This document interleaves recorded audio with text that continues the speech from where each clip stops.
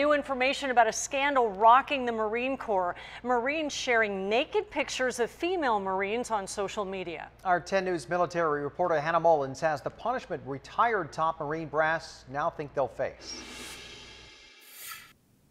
We're talking about broken trust. In some cases, the women may not have known they were being photographed. They are the first to move toward the sounds of tyranny, injustice, and despair. But injustice has allegedly struck home soil. I think it's disgusting, absolutely disgusting. There's no place in the Marine Corps for salacious conduct like that. Retired Major General James McMonagle would know. He proudly led the charge for more than 50,000 Marines as the commanding general of 1 MEF. Well, it's my life. I mean, I'm still a Marine. As the saying goes, once a Marine, always a Marine. The people you serve with are so important to you because they're your means of existence. He doesn't care if they're colonels or corporals. He has names for those who betrayed that bond. Devious, bad people. The War Horse report says a secret Facebook page called Marines United posted naked photos of female Marines, vets, and other women.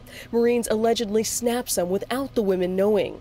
The USMC has hit the scandal head on. They issued a statement saying they're deeply concerned about allegations regarding the derogatory online comments and sharing of salacious photographs in Marines United. It says this behavior destroys morale, erodes trust, and degrades the individual there's no good will come from it whatsoever.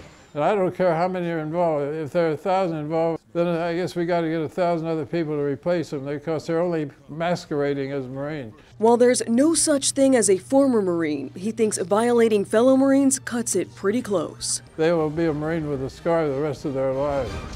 Hannah Mullins, 10 News.